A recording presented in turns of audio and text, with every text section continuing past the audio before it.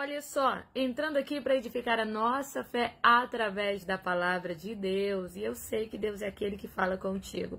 Ele é aquele que renova a tua fé, que te alimenta todos os dias para que você possa prosseguir nessa caminhada. Então, se você veio para ouvir a voz de Deus, para receber dele, já chega declarando, fala, porque teu servo ouve, fala, porque tua serva ouve, Senhor. E eu sei que é Deus quem vai falar com você nesta hora, é o Senhor quem vai falar com você neste momento. Queridos, olha só. Pega a palavra de Deus para a gente fazer leitura. Palavra que se encontra lá em Números, capítulo de número 11, versículo de número 2. Você vai entender que não há nada que a oração não possa resolver. Existem coisas que você só vai conseguir resolver pelo poder da oração. Não é pela força do braço, não é pela sabedoria humana, não é pelas condições físicas ou financeiras, mas é pelo poder da oração. Quando você ora, os céus se movem a teu favor. Quando você ora, Deus ouve a tua voz. Quando você ora, você gera um milagre dentro da história. E eu creio que, em nome de Jesus, enquanto você está aqui em oração, Deus está resolvendo muita coisa para você, viu? Coisas que o teu braço não resolveria, coisas que o teu dinheiro não resolveria, coisas que você sozinho não poderia resolver. Mas o teu Deus vai lá e faz porque você orou. Glória a Jesus. Pega a palavra de Deus, vamos fazer leitura. Assim diz a palavra do Senhor. Números 11, versículo 2. Então o povo clamou a Moisés e chorou ao Senhor e o fogo se apagou.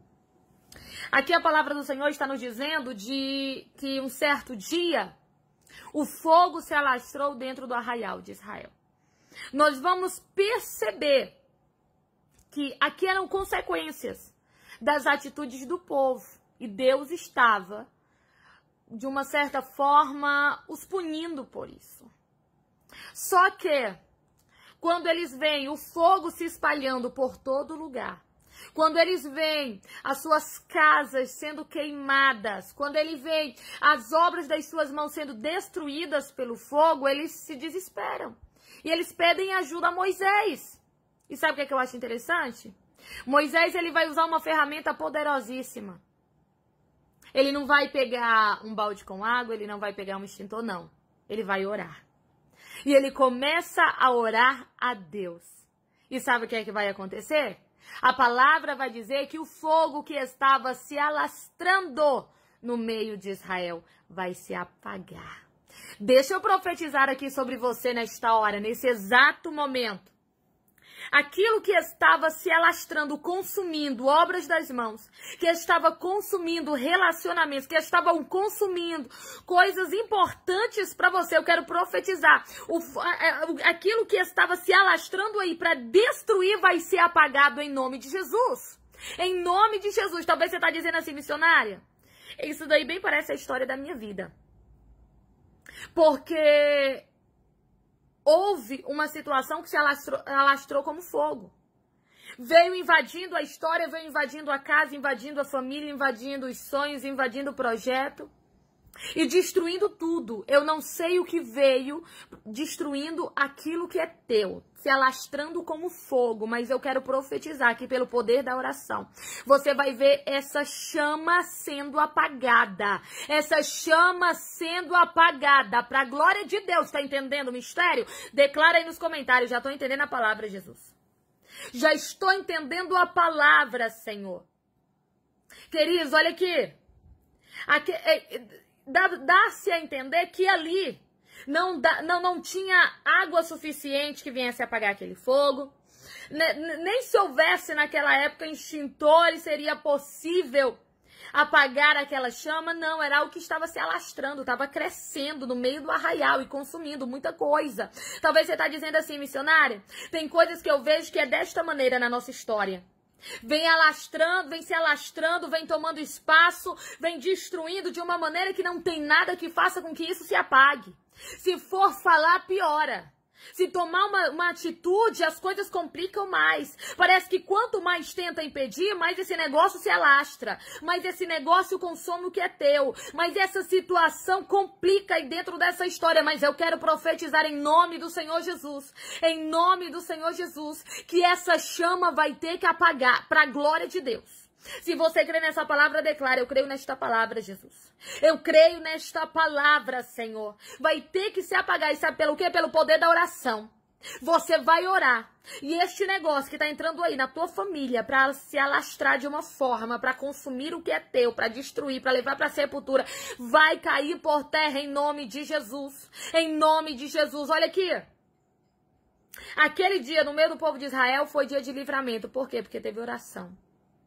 O inferno talvez está usando situações que estão se alastrando como fogo no meio dos teus. Estão consumindo muita coisa e muita coisa importante para você. E você talvez tenha tentado, com recursos naturais, tentar resolver a situação e não tem conseguido.